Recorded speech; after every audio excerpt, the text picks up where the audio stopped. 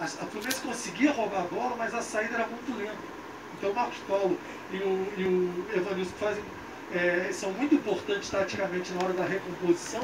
Eles quando recebem a bola estão muito isolados. Então o time tem que chegar um pouco mais. E eu acho que isso que ficou faltando. E o Flamengo obviamente foi tomando conta do jogo e, do, e, e até fazer um pouquinho antes do seu gol. E até o final foi um pouco melhor. Merece a vitória. Muito bem, mas foi parado também muito com falta o Fluminense. Foi. Flamengo, falta. Flamengo, quando não tem a bola, parecia o Fluminense da quarta-feira. Conseguiu neutralizar bem os avanços do Fluminense, não está deixando o time jogar, já chega junto, em cima. Por isso que o Fluminense tem que, tem que jogar um pouco mais compacto. Marcelo, Oi, Claudinho. O Fábio, aqui da Vila Isabel, ele que está com a esposa dele, Marisol, assistindo o jogo aí na FUTV, perguntou se você mudaria alguma coisa no time do Fluminense em termos de peça ou só nessa questão tática, Marcelo? Não, eu acho que ainda não. Acho que o Fluminense começou o jogo bem.